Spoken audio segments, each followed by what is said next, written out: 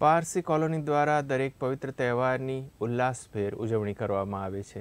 Parsi colony દ્વારા દરેક વર્ષની જેમ આ વર્ષે પણ વિઘ્નહર્તા દેવ ગણપતિજીની સ્થાપના કરવામાં આવી છે. ગણેશ ચતુર્થીના પાવન પર્વ નિમિત્તે પારસી કોલોની ખાતે જુરાસિક પાર્ક થીમ પર ઝાંખીનું આયોજન કરવામાં આવેલ છે અને વાજતે ગાજતે ગણપતિ દાદાને પારસી કોલોની બિરાજમાન કરવામાં આવ્યા હતા. આ તકે શાસ્ત્રોક્ત વિધિ અનુસાર ગણપતિજીની પૂજા અર્ચના કરવામાં આવી હતી. ગણપતિજીની સ્થાપના દસ દિવસ માટે કરવામાં આવેલ હોય છે. જ્યાં અલગ અલગ શણગાર સજવામાં આવશે. દરરોજ સવારે આરતી, બપોરનો થાળ અને સાંજે આરતી કરવામાં આવશે. છેલ્લા કેટલાક વર્ષોથી ગણપતિની સ્થાપના કરવામાં આવે છે. વિઘ્નહર્તા ગણેશજીના ઉત્સવનો જ્યારથી પ્રારંભ થયો છે, ત્યારથી જ ગણેશ ભક્તો મોટી સંખ્યામાં દર્શન કરવા માટે ઉમટી પડ્યા છે.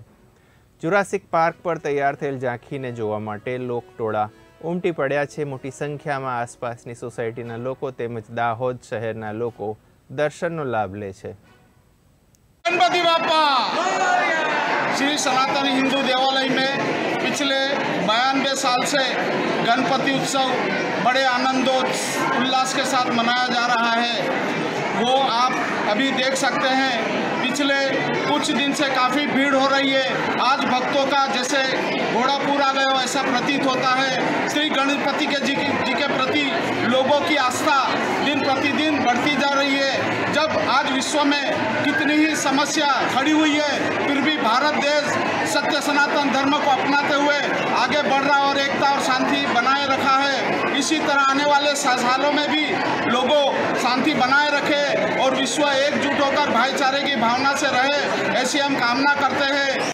पारसी कॉलोनी में गणेशोत्सव का यह चौंतीसवां वर्ष है। प्रतिवर्ष गणेशोत्सव के उपलक्ष्य में यहाँ पर बहुत ही आकर्षक एवं कलात्मक झांकी बनाई जाती है। इन झांकियों को बनाने में लगभग एक माह का समय लगता है। लेकिन जो भी झांकी यहाँ पर बनाई जाती है पूरे गणेशोत्सव का एक आकर्षण का केंद्र बन जाता है। पारसी कॉलोनी में जो भी झांकी बनती है, दाहोद आसपास के गाँव के लोग भी यहाँ पर दर्शन करने के लिए आते हैं। इस वर्ष यहाँ पर जुरासिक पार्क बनाया गया है।